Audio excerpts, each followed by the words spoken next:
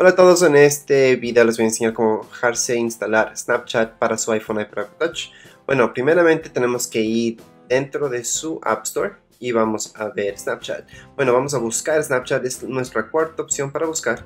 Dentro de ahí vamos a buscar Snapchat y vamos a descargarnos directamente.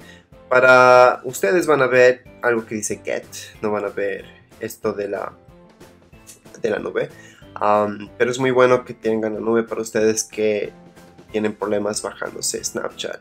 Bueno, ya que eso, les va a pedir su contraseña, entonces van a estar un App ID para hacer esto. Ya descargado van a poder utilizar Snapchat, van a poder crear su cuenta, van a poder sincronizar sus contactos y eso es todo. Bueno, eso es todo para esa parte. Si es que tienen bastantes problemas y les dice su iPhone que requiere un iOS más actualizado, para poder instalar Snapchat. No se preocupen, yo creé un video que es exactamente para responder esa pregunta. Y ahorita les voy a enseñar ese video dentro de YouTube, de hecho. Bueno, antes de enseñarles el video, quiero comentarles que bajarse, instalar iTunes en su computadora primero. van a estar en una computadora, van a estar un iPhone o un iPad de otra persona para poder hacer este procedimiento. iTunes es un programa totalmente gratuito para Windows 7, para Windows 8, para Windows 10, no importa cuál computadora tengan, va a funcionar. iTunes no necesitan una Mac para funcionar con iTunes. Ah, bueno, el procedimiento es muy sencillo, van a ver ahorita cómo hacerlo. Gratuito, ya que se descargaron e instalaron a su iTunes, simplemente tenemos que ir acá en la parte de arriba, van a ver música, movies, TV shows y acá van a ver tres puntos. Tenemos que ir a la parte que dice apps, aplicaciones. Vamos a dar clic encima de eso. Vamos a ir a la última opción que dice acá arriba App Store. Y desde el App Store nos vamos a descargar todas las aplicaciones que queremos. En este momento no necesitan su iPad, iPhone o iPod Touch. No se preocupen, no necesitan conectar nada, simplemente necesitan la misma cuenta de iCloud que tienen para su iPad, iPod iPod Touch, igualmente que aquí. Entonces, eh, por ejemplo, podemos buscar acá arriba Facebook. Si es, es una de las aplicaciones que quieren descargarse. En este momento ya tengo Facebook, pero por ejemplo no tengo esta que dice RBC. Entonces, si quiero eso, nos va a aparecer algo así que dice Get. Simplemente tenemos que dar clic encima de eso. Y se va a comenzar a descargar la aplicación. Si es que no se comienza a descargar inmediatamente es porque les va a pedir su Apple ID. Entonces necesitan tener el mismo Apple ID en su iTunes de ahorita que en su iPhone, ¿sí? Eso es muy muy importante que tengan el mismo Apple ID. En este momento igual pueden crear un nuevo Apple ID, pero con que tengan el mismo en su iPhone, iPad o iPod Touch que este iTunes que se están descargando la aplicación. Lo que queremos es descargar la aplicación dentro de aquí y después vamos a ir a nuestro iPhone, iPad o iPod Touch y ir a la, sección que dice compras y descargarnos desde ahí, que les voy a enseñar ahorita. Aquí tengo un iPhone 3GS y un iPhone 3G.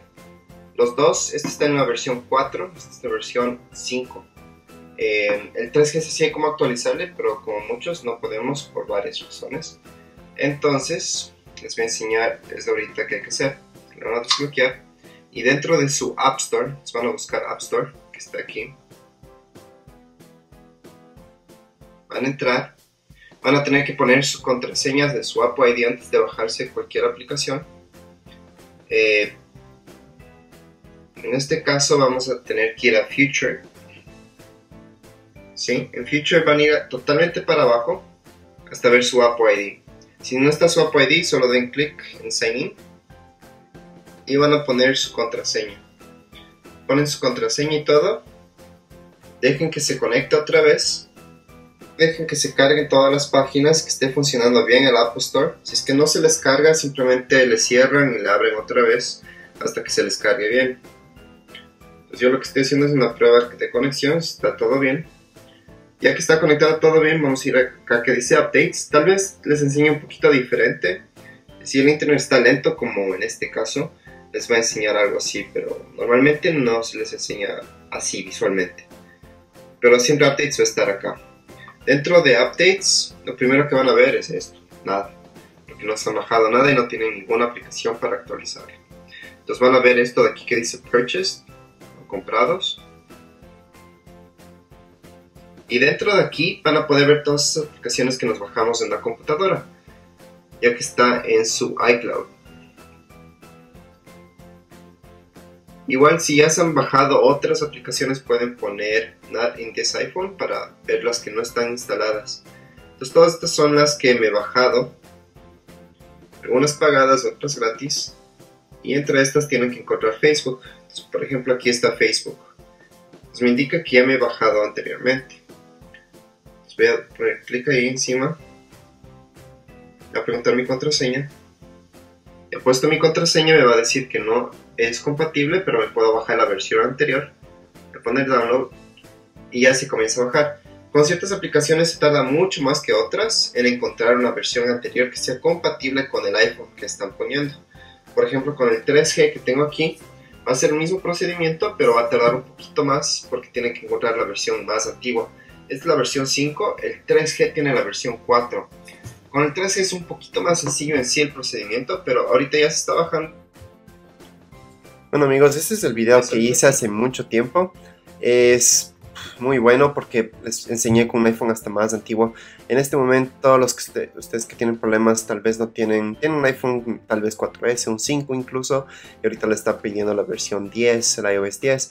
Entonces esto les va a ayudar a descargarse de hecho bastantes aplicaciones, no solo Snapchat. Bueno, si tienen cualquier pregunta o comentario me pueden escribir aquí abajo en mi canal. No se olviden suscribirse y poner like. Gracias. Thank you.